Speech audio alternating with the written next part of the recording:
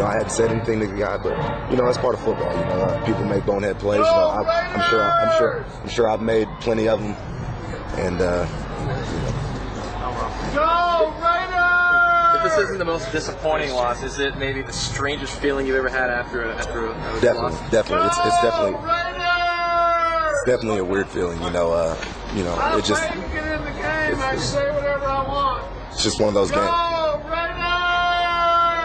It's just one of those games where. Uh, Go Raiders! It's one of those games where you know stuff happens like that. And, you know, it's, it's disappointing, but Go we Raiders! can't, we can't really talk to the camera because there's a, Off we won anyway. Go Raiders! Raiders! Shut up! Our starting, Big 12 rest tried to rip us off. tried to, But our we starting won center, anyway. Our starting center. Uh, God dang. about how the, way the offense came to life there. yeah, uh, especially when you know our starting center Jon Cooper goes out again, and, and here, here Chris Bush gets back in the game at center.